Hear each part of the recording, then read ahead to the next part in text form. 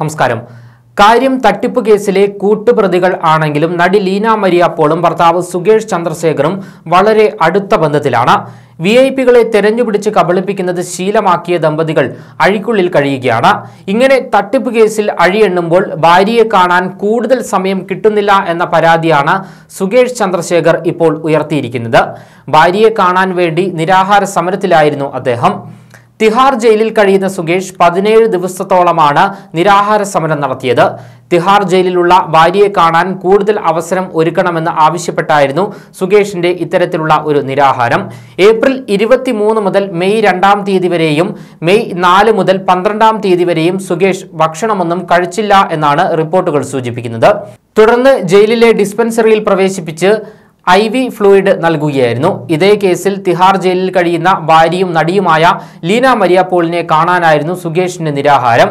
മറ്റ് തടവുകാർക്കുള്ളതുപോലെ തന്നെ സുകേഷിനും ലീന മരിയ പോളിനും മാസത്തിൽ രണ്ട് തവണ പരസ്പരം കാണാനുള്ള അനുവാദമുണ്ട്.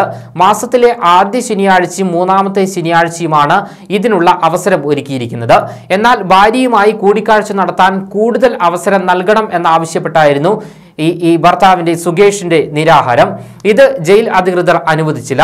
ഇതോടെയാണ് സുകേഷ് ഭക്ഷണം ഉപേക്ഷിച്ചതെന്നും ഇയാൾക്കെതിരെ ജയിൽ നിയമപ്രകാരം ശിക്ഷാ നടപടികൾ സ്വീകരിക്കുമെന്നും അധികൃതർ പറഞ്ഞു.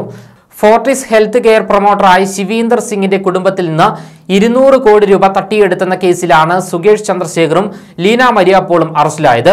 ജയിലിലായിരുന്ന ശിവീന്ദർ സിംഗ് ജാമ്യം സംഘടിപ്പിച്ച് നൽകാമെന്ന് പറഞ്ഞ് സുകേഷ് ചന്ദ്രശേഖർ ഇരുന്നൂറ് കോടിയോളം രൂപ തട്ടിയെന്നാണ് കണ്ടെത്തൽ. നിയമകാര്യ മന്ത്രാലയത്തിലെ മുതിർന്ന ഉദ്യോഗസ്ഥൻ എന്ന വ്യാജേനയാണ് ഇയാൾ അതിഥി സിംഗിൽ നിന്ന് പണം കൈക്കലാക്കിയത്.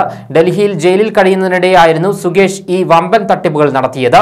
ഇതിനിടെ ജാക്ലിൻ ഫെർണാണ്ടസ് അടക്കമുള്ള നടിമാരുമായി സുകേഷിന് ബന്ധമുണ്ടെന്ന വിവരങ്ങളും പുറത്തു വന്നിരുന്നു. അടുത്തിടെ ഈ കേസുമായി ബന്ധപ്പെട്ട് ജാക്വിലിൻ ഫെർണാണ്ടസിന്റെ ഏഴ് കോടി രൂപയുടെ സ്വത്ത് ഇ ഡി കണ്ടുകെട്ടുകയും ചെയ്തിരുന്നു. നിരവധി പ്രമുഖരാണ് ഈ ദമ്പതികളുടെ തട്ടിപ്പിന് ഇരയായത്. പണം പോയ പല പ്രമുഖരും മാനഹാനി ഭയന്നും കള്ളപ്പണ ഇടപാടുകൾ പുറത്തുവരുമെന്ന് ഭയന്നും ഔദ്യോഗികമായി പോലീസിൽ പരാതി നൽകിയില്ല. ചിലർ ആകട്ടെ ലീന മരിയ പോളിൽ നിന്നും പണം വാങ്ങാൻ വേണ്ടി കൊട്ടേഷൻ സംഘങ്ങളെ ഏർപ്പാടാക്കുകയും ചെയ്തു. അത്തരം സംഘത്തിലാണ് രവി പൂജാരിയും ഉണ്ടായിരുന്നത് എന്നാണ് പുറത്തുവരുന്ന വിവരം. ഹൈദരാബാദിലെയും മുംബൈയിലെയും പ്രമുഖരും സുകേഷ് ചന്ദ്രശേഖരും കൂട്ടാളിയും ചേർന്ന് കബളിപ്പിച്ചിരുന്നു.